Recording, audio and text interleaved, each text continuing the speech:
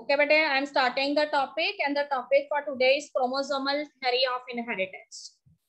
So what we have studied in our previous uh, lectures, we have studied up to law of Mendel, okay, law of inheritance and two special cases that is the case of incomplete uh, dominance and co-dominance. So after this, I'm going to tell you that how the chromosomal theory of inheritance it came into existence or you can say it is something that is concerned with the rediscovery of the Mendel's work. So see what is what is written in your book. So कहते हैं कि Mendel whatever work that was done by Mendel at that time, ठीक है? And you know that the work of the Mendel is based on the inheritance of characters. So whatever work he has done at that time, ठीक है? It remains unpublished for a long time. ठीक है? काफ़ी समय के लिए Mendel का जो वर्क था, वो पब्लिश नहीं हुआ था। तो कहते हैं कि जो भी उसने इनहेरिटेंस ऑफ़ करेक्टर्स दिए थे, ठीक है? 1865 के आसपास ही has given laws of inheritance but whatever work he unrecognise और unpublicise up to nineteen hundred तो it is a long duration इतना इंपॉर्टेंट जो वर्क उसके द्वारा किया गया था on the laws of inheritance that was not recognized at that time. So there are certain reasons behind that. Why the Mendel's work, it remained unrecognized for several years. So here we have written those uh, reasons. It are These are also given in your book. Check but a first reason behind the unrecognition of Mendel's work is lack of communication and publicity. ठीक है बेटे उस time वो कहते हैं कि communication जो है इतना इजीली जो है वो नहीं हो पाता था, पुराने टाइम था। और पब्लिसिटी भी नहीं मिलती थी। अगर किसी ने एक somebody has done some of the important work, ठीक है? तो there are no such mediums present by which you publicise your work जैसे आज, आजकल कुछ इंपॉर्टेंट कोई बंदा करता है तो there are so many sources by which he और she can do publicity for his work but at that time, the communication is not proper ठीक है as well as there are no means by which the publicity is provided to that work another very important thing is that Mendel has used a special uh, terms for these units of heredity he has used the term factors and what Mendel said that these factors they are stable and discrete units ठीक है बेटे Mendel ने ये कहा कि जो भी inheritance है करेक्टर्स का उसको कौन लेकर आते हैं फैक्टर्स लेकर आते हैं। They are the unit of heredity they are responsible for the inheritance of characters और ये फैक्टर्स कैसे होते हैं? स्टेबल होते हैं। ठीक है? एंड डिस्क्रीट होते हैं। डिस्क्रीट वर्ड का मतलब है they have their separate identity they have their independent existence ठीक है?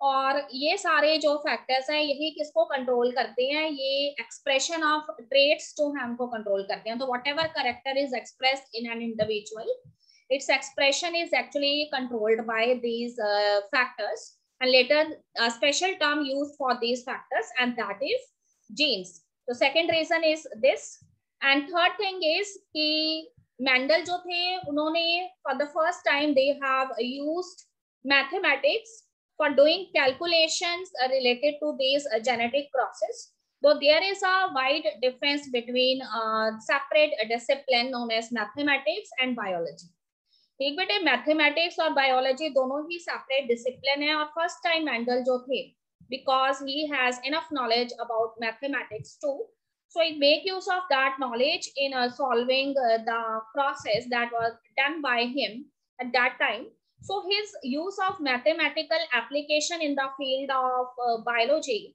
is not welcomed by some of his contemporaries ठीक है उसके साथ के जो दूसरे बायोलॉजिस्ट थे उनको ये चीज़ कुछ जची नहीं कि मैथमेटिक्स जो है और बायोलॉजी जो है वो दोनों ही एकदम डिफरेंट फ़ील्ड है और मैथमेटिक्स जो है उसकी हेल्प से हम बायोलॉजिकल कैलकुलेशंस कैसे कर सकते हैं। ओके बेटे another thing is Mendel has said कि a particular factor it consists of alternative pairs which are known as alleles and these alleles they generally not blend ठीक है मेंडल का ये कहना था कि एलील्स जो हैं किसी भी जीन के फैक्टर के वो ब्लेंड नहीं करते। But later you know that some of the exceptional processes are seen such as incomplete dominance where the blending of uh, these alleles, it is very much, uh, you can say easily visible है so this thing is not accepted by the other biologist ठीक है उन्होंने इस बात को बिल्कुल भी मतलब जो है हंड्रेड परसेंट नहीं लिया कि जो जीन्स के एलील्स होते हैं उनकी कभी भी ब्लेंडिंग नहीं होती तो according to some biologists they have put such type of incomplete dominances in front of Mendel that here the blending of the alleles takes place and you said that the blending is not uh, done in case of uh, these uh, genes or factors okay but a fourth reason behind this is कि Mendel जो थे उन्होंने कहा था कि jeans जो है वो डिस्क्रीट यूनिट्स है uh, but he has not provided any of the physical proof for the existence of these factors or genes. And he is also not able to tell that what uh, thing of these genes actually made up of. ठीक बेटे तो कहते हैं कि Mendel ने ये तो बोला कि भाई जीन्स और फैक्टर्स जो है वो डिस्क्रीट यूनिट्स हैं। पर जब उनसे ये पूछा गया कि क्या आपके पास कोई फ़िज़िकल प्रूफ है ठीक है तो he is not able to give any of the evidence and secondly another thing is और मैंडल जो थे वो ये भी नहीं बता पाए कि जीन्स जो हैं वो किस चीज़ से मिलकर बने हुए होते हैं। ठीक है? तो these are the four basic reasons जिसकी वजह से मैंडल जो थे वो उतनी पॉपुलैरिटी गेन नहीं कर पाए, जितना बड़ा वर्क उन्होंने किया था। ओके बेटे I am again repeating number one is lack of communication and publicity number two is factors or genes, they are stable and discrete units and the pair of alleles uh, which generally form a gene or a factor, they did not show any kind of blending. This uh, view is not accepted by other biologists. Third thing is कि Mendel has used the mathematical applications in uh, solving various calculations for genetic crosses in the field of biology and that was not accepted by some of the biologists.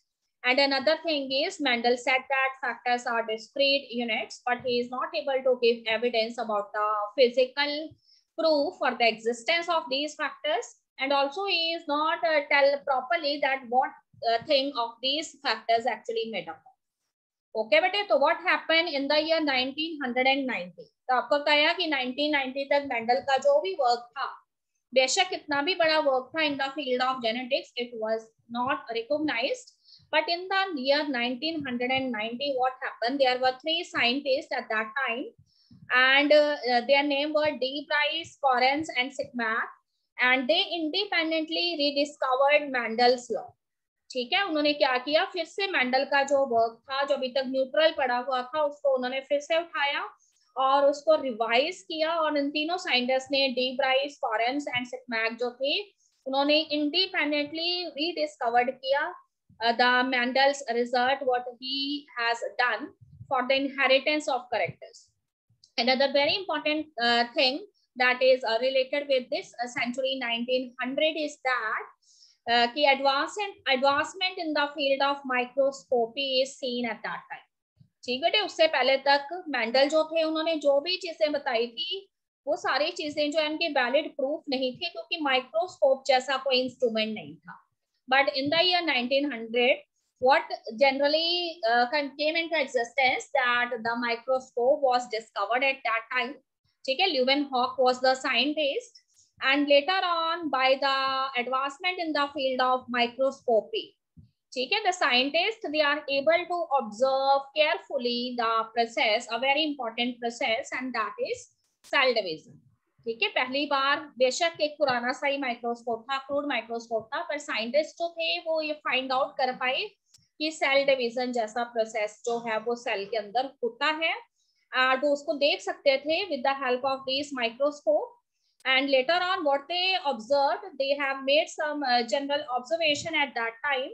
And here they find that uh, there is a nucleus present in the center of the cell उन्होंने ये देखा कि cell के centre में एक nucleus present होता है and inside the nucleus some thread like structures are present which uh, remains uh, double and divide just before cell division ठीक है उन्होंने ये देखा कि न्यूक्लियस के अंदर जो है कुछ थ्रेड लाइक स्ट्रक्चर्स हैं और वो थ्रेड लाइक स्ट्रक्चर्स जो है वो मूवमेंट करते हैं सेल डिवीज़न के दौरान ठीक है, उनकी डबलिंग होती है और इसके अलावा जो है, वो डिवाइड भी करते हैं।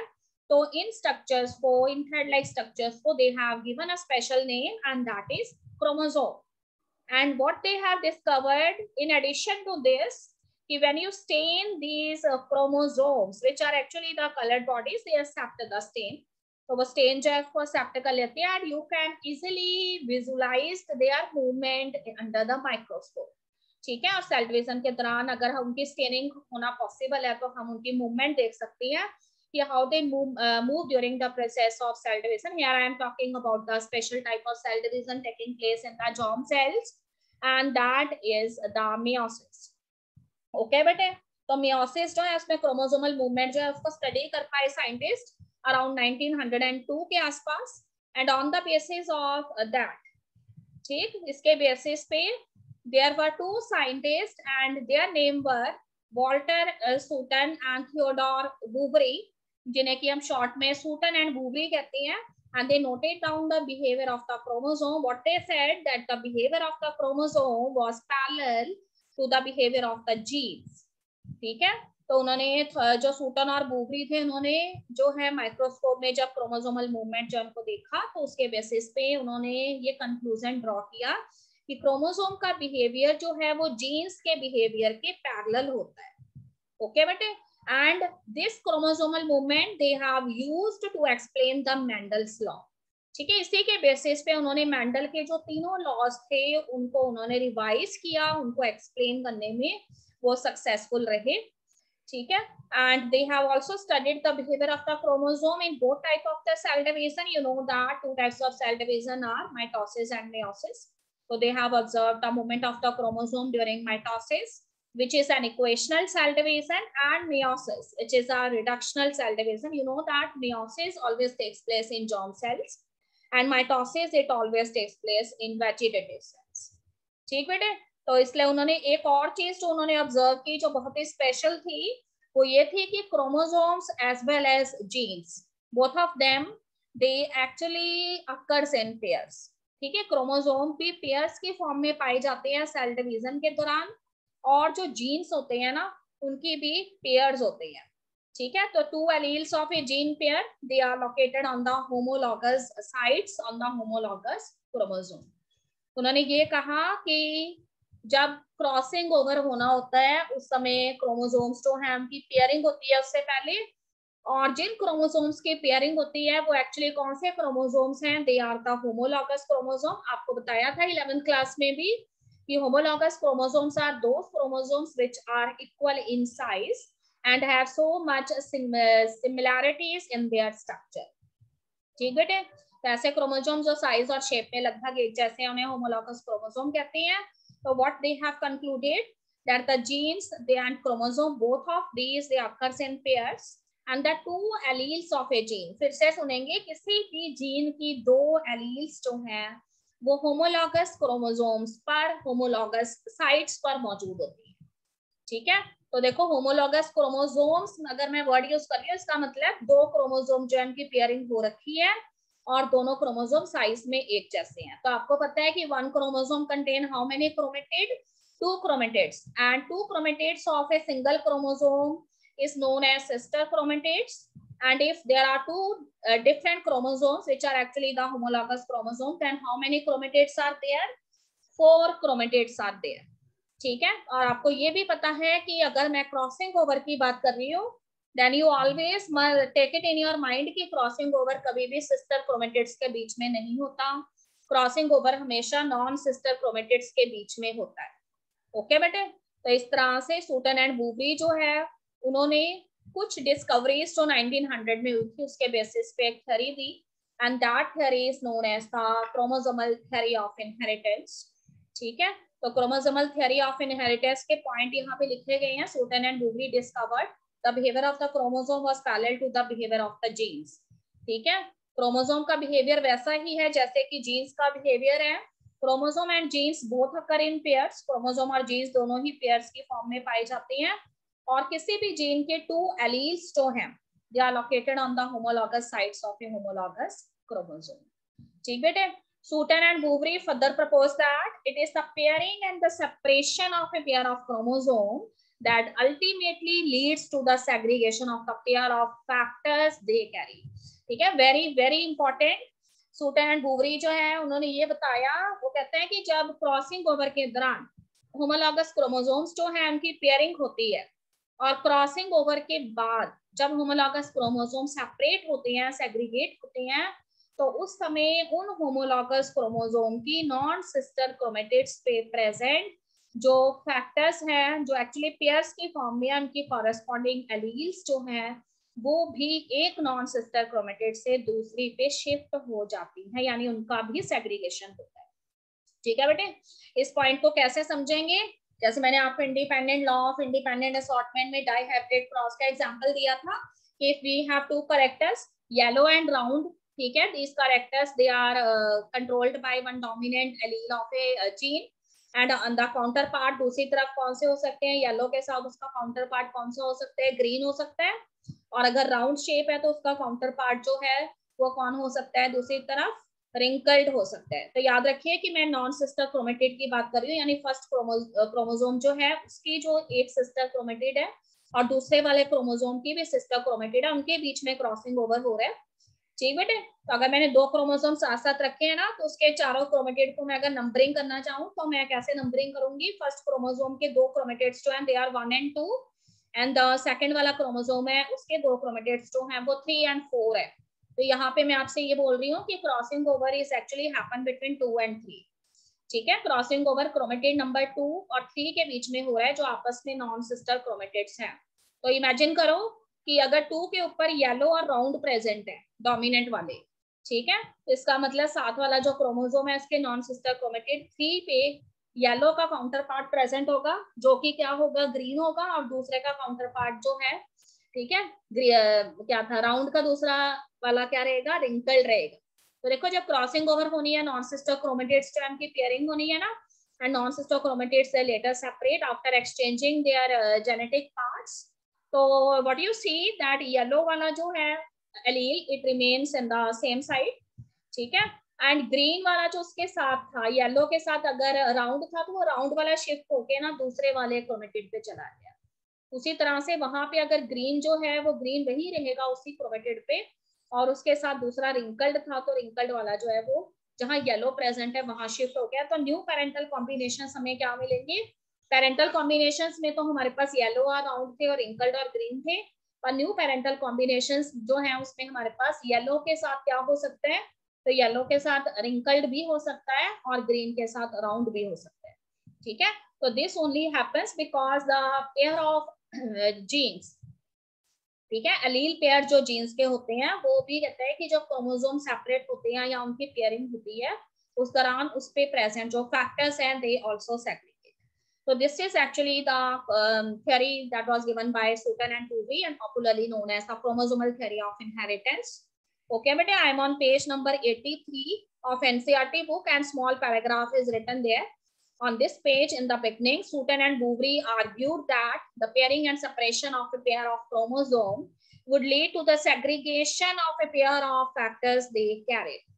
Okay, this is very much uh, true कि उन पे प्रेजेंट जो फैक्टर्स हैं उनके एलील्स जो हैं वो भी सेपरेट करते हैं सेग्रीगेट करते हैं जब क्रोमोसोम जो है क्रॉसिंग ओवर के बाद सेपरेट होते हैं तो this is the only reason why the process of sexual reproduction it always introduced variations ठीक है सेक्सुअल रिप्रोडक्शन जो है उससे हमेशा हमें वेरिएशंस क्यों नज़र आती हैं इतने सालों से पढ़ाते आ रहे हैं आपको कि सेक्सुअल रिप्रोडक्शन जो है उसमें वेरिएशंस हमेशा ज़्यादा होती हैं that is only because of the process of recombination and crossing over that these homologous chromosomes, they exchange their genetic parts, they pair together and later they separate after exchanging their parts and this helps in introducing variations during the process of sexual reproduction. Okay बेटे तो उसके बाद देखो यहाँ पे उसने कुछ diagrams बना के आपको दिखाए हुए हैं पेज नंबर 82 के ऊपर, जिसमें उसने क्रोमोसोम्स की सेग्रीगेशन एंड जीन्स की सेग्रीगेशन जो है उसको शो किया गया है। ठीक है some of the characters related for both chromosome and genes they are mentioned here ठीक है both of them they occurs in the form of pairs दोनों ही पेयर्स की फॉर्म में पाई जाती हैं क्रोमोसोम्स भी जीन्स भी। फिर वो कहते हैं कि सेग्रीगेट करते हैं। ठीक है, दोनों जो है, उनका गैमिट फॉर्मेशन के दौरान जो है वो क्या करते हैं सेग्रीगेट करते हैं और उसके बाद वो कहते हैं कि फिर रैंडमली जो है वो कंबाइन करके, ठीक है न्यू कॉम्बिनेशन जो है उनको फॉर्म करते हैं during the process of fertilisation okay बेटे? उसके बाद देखो थोड़ा सा आगे बढ़ते हैं। तो in the next paragraph there was account that was related with a great scientist and his name was Morgan ठीक है? मेंडल के बाद अगर दूसरे किसी बड़े साइंटिस्ट का नेम आता है तो that is Thomas Hunt Morgan ठीक है? तो as Mendel has did his research on this क्या कहते हैं? पाइसम सेटाइवम और स्वीट पी और garden pea in the same way Morgan was the scientist Thomas Morgan was the scientist along with his colleagues one of his student has also done wonderful work with Morgan And what Morgan has selected as his uh, research material at that time, that was a small insect and its name uh, was uh, Drosophila. ठीक है? Drosophila जिसको कि हम fruit fly भी कहते हैं तो सभी स्टूडेंट्स ने फ्रूट फ्लाई देखी हुई है। मैं आपको बताती हूँ कहाँ पे देखी है आपने। ठीक है? Sometimes when you go to market to purchase mangoes ठीक है? कई बार जब आपने आम खरीदने होते हैं आप मार्केट जाते हो तो जहाँ पे आम जो है मिल रहे होते हैं, उस जगह पे आपको बड़ी बड़ी सी इंसेक्ट जो है, घूमते हुए नज़र आती है बड़ी बड़ी मक्खियाँ घूमते हुए नज़र आती है, ठीक है? वो वाली जो है, उन्हें ड्रॉसोफिला या फ़ूड फ्लाइज कहते हैं। तो Thomas H Morgan discovered basis of variation that sexual reproduction produced उन्होंने ये बताने की कोशिश की कि सेक्सुअल रिप्रोडक्शन में whatever variation generally see what is the basis behind that variation the for his research, he has selected the fruit, flies, and drosophila. And the full name of the drosophila is drosophila melanogaster. ठीक है Drosophila why he has selected Drosophila तो there are certain reasons behind that that he has selected Drosophila number 1 is कि they were suitable to grow on a synthetic medium ठीक है, किसी भी चीज़ जो है उसको अट्रैक्ट करने के लिए हमें कोई कल्चर मीडियम प्रोवाइड करना पड़ता है। तो कहते हैं कि ड्रोसोफिला या फ्रूट फ्लाइज जो है वो ऐसे इंसेक्ट्स थे जिनके लिए जो है हम एक छोटा सा कोई भी सिंथेटिक मीडियम अगर रख दें तो उसमें लॉट ऑफ़ ड्रोसोफिला जो है वो गैदर हो जाते ठीक है? And second thing is the life cycle of Drosophila it generally completes in two week as you know that In case of Pisum sativum, the life cycle of the Pisum sativum is uh, six months and Mendel is able to study two generations in a. But here the scientist Morgan, he has done an amazing work. He has selected such an insect whose life cycle is complete in two weeks. ठीक है? दो हफ्तों का life cycle था उसका।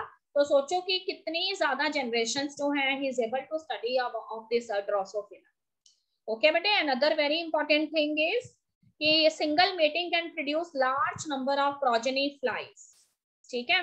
एक बार अगर Drosophila जो है वो दूसरी ड्रोसोफिला के साथ मेटिंग करती थी तो उससे कई सारी फ्लाइज जो है प्रोजेनी फ्लाइज जो है दे कैन प्रोड्यूस तो in this way so many generations they can be seen within a single mating so on the basis of that so many genetic uh, variations they can be observed by the scientist another thing is clear differentiation of the sexes so, it is very easy to distinguish the male individual and the female individual in case of drosophila. ठीक है? तो Drosophila जो है, उसके अंदर mail और female को identify करना बहुत ही आसान था। मेल जो थे, वो साइज़ में छोटे थे और जो फीमेल थी, वो साइज़ में बड़ी थी। तो there is a clear differentiation between the sexes another thing is कि hereditary variations they can be clearly visible under the low power microscope अगर उसमें कोई भी हेरिडिटरी वेरिएशन थी So scientist is able to study because you know that microscope has already discovered by the scientist. So now there is an advancement in the field of microscopy. So all kind of hereditary variations, they can be clearly, uh, clearly visible under the low power of the microscope. Okay, no special microscope is required having a very high resolution or magnification. Okay okay, बेटे तो अब Morgan जो थे उन्होंने क्या experiment किया तो उसके बारे में उसने बताया हुआ है he, he has done several dihybrid process by using these uh, fruit flies. One of uh, that process उसमें उन्होंने क्या किया कि येलो बॉडी वाली और व्हाइट आई वाली जो फीमेल थी ठीक है फिर से सुनेंगे ऐसी फीमेल्स जिनकी की व्हाइट आई थी और जिनकी येलो बॉडी थी उनकी क्रॉसेस उनकी क्रॉसिंग करवाई उनकी मेटिंग करवाई किसके साथ? ऐसे मेल्स के साथ जिनकी रेड आई थी और ब्राउन बॉडी थी। ठीक है बेटे white eye versus red eye and yellow body versus brown body तो मेल जो है उसमें red and brown character dominant थे एंड दूसरी तरफ़ जो फीमेल थी उसमें व्हाइट आईज थी और येलो बॉडी तो what he observe when he see the F1 progeny, ठीक है? तो एफ़ वन प्रोजेनी जो है उसको उन्होंने स्टडी किया। तो आपको पता है कि लॉ ऑफ़ मेंडल जो है प्रिंसिपल ऑफ़ डोमिनेंस वहाँ पे फॉलो होता है। ठीक है? तो दोनों में से जो डोमिनेंट करेक्टर्स थे वो वहाँ पे उसको नज़र आए। एंड लेटर ऑन उसने क्या किया whatever insects he obtained in the F one generation and he done the selfing among these insects and later he obtain the F two progeny ठीक है एफ टू रेशो जो है उसको उसने observe किया तो what he see he uh, draws some uh, different kind of conclusion what he uh, is generally expected at that time so what i see that the f to ratio is a more uh, ठीक है expected as nine is to three is to three is to one आनी चाहिए थी। ठीक है Mendelian dihybrid cross के अंदर nine is to three is to three is to one ratio जो है वो डाईहाइब्रिड रेशो होती है। पर उसने देखा कि जब हम इस तरह से इंसेक्ट्स जो है मीटिंग करवाते हैं तो उसके बाद हमें जो डाईहाइब्रिड रेशो एक्चुअली मिलनी चाहिए थी, वो हमें यहाँ पर नहीं मिलती है। ठीक है? तो उसके बेसिस पे उसको जो है डोमिनेंट करेक्टर नाइन मिलने चाहिए थे जो पेरेंट के अंदर थे रिसेसिव करेक्टर वन मिलना चाहिए था और three three non parental character मिलने चाहिए थे पर ऐसा बिल्कुल भी नहीं हुआ उसे क्या हुआ है यहाँ पे उसे क्या कंक्लूजन उसने ड्रॉ किया है तो he has obtained some of the very different kind of result that deviate from this ratio which is the common dihybrid ratio. The basis of this, he has uh, given his explanation that why this deviation is seen from this dihybrid ratio.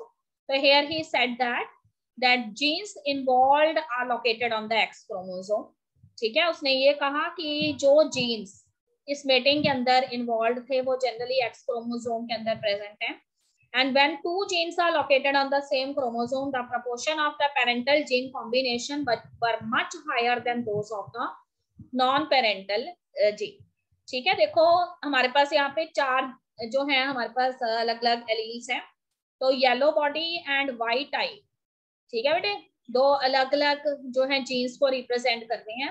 एक gene जो है, वो yellow body के लिए responsible है और दूसरा white आई के लिए रिस्पॉन्सिबल है। और दूसरी तरफ़ मेल के अंदर उसका जो काउंटर पार्ट है, वो है रेड आई कलर मेल के अंदर है और ब्राउन बॉडी जो है, वो उसके अंदर जो है फैक्टर नज़र आ रहा है। तो उसके बाद वो कहते हैं कि एफ़ वन प्रोजेनी के अंदर हमें जो है दोनों में से डोमिनेंट करेक्टर्स नज़र आने चाहिए थे, पर ऐसा नहीं हुआ। तो उसको क्या हुआ है कि जो येलो वाला यहाँ पे जीन है ना, वो व्हाइट वाले के साथ ही मूव करता हुआ नज़र आ रहा है। एंड दूसरी तरफ़ जो रेड है it is moving along with that brown character ठीक है? And when he has done the again he has observe that the yellow and white they are moving together and the red and brown they are moving together so on the basis of that he said that that sometimes when two genes which are uh, responsible for different characters if they are located on the same chromosome अगर वो same chromosome के ऊपर present होते हैं तो उस case में वो कहता है कि if the distance between these two genes they are very less तो in that situation these genes can be considered as the linked one ठीक है? इन जीन्स को लिंक्ड जीन्स या लिंकेज का केस कंसीडर किया जा सकता है। तो अगर जो है जीन्स के बीच में डिस्टेंस बहुत कम है, वो सेम क्रोमोजोम पे प्रेजेंट होती हैं।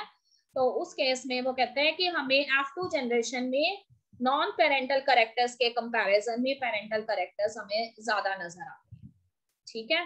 तो उसके बेसिस पे he has introduced a very new term and that is linkage so what is linkage linkage is physical association of genes on a chromosome ठीक है? किसी भी क्रोमोसोम में how the genes they are physically associated that will describe the degree of crossing over ठीक है, और recombination अब इसे हिंदी में इस तरह से समझेंगे कि अगर किसी भी होमोलॉगस क्रोमोसोम्स पर किसी जीन की टू एलील्स प्रेजेंट हैं नॉन सिस्टर क्रोमेटिड्स पे दो होमोलॉगस क्रोमोसोम्स के, और उनके बीच का डिस्टेंस बहुत कम है तो उस केस में क्रॉसिंग ओवर जो है, वो जब भी होगा, उस दौरान जो है ठीक है? होना क्या चाहिए था कि मटेरियल एक्सचेंज करना था दोनों ने?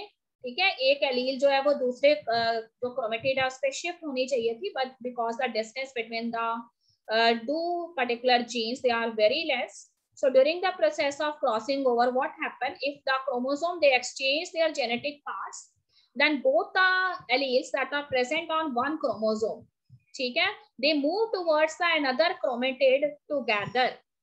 तो अगर हमारे पास यहाँ पर येलो और व्हाइट वाला जो जीन है, वो एक क्रोमेटेड पे प्रेजेंट है और दूसरे पे रेड और ब्राउन प्रेजेंट है तो क्रॉसिंग ओवर के दौरान क्या होगा, जितनी सेगमेंट ब्रेक होके क्रोमेटेड की दूसरे पे गई है ना, वो दोनों को इकट्ठे ही ले गई है।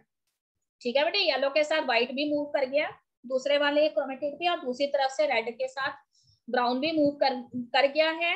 और ऐसा इसलिए हुआ है क्योंकि फ़िज़िकल डिस्टेंस जो था वो दोनों जीन्स के बीच में बहुत कम था, उनके अलील्स के बीच में बहुत कम था। तो इस तरह की सिचुएशन जो है उसको हम लिंकेज कहते हैं, ठीक है? तो कहता है कि रिकॉम्बिनेशन या क्रॉसिंग ओवर जो है, वो किसके प्रोपोर्शनल होता है? इनवर्सली प्रोपोर्शनल होता है distance between the two alleles of the genes ठीक है? किसी भी जीन के दो एलील्स के बीच में कितना डिस्टेंस है, उसके इनवर्सली प्रोपोर्शनल होता है रिकॉम्बिनेशन तो कैसे समझेंगे इसको?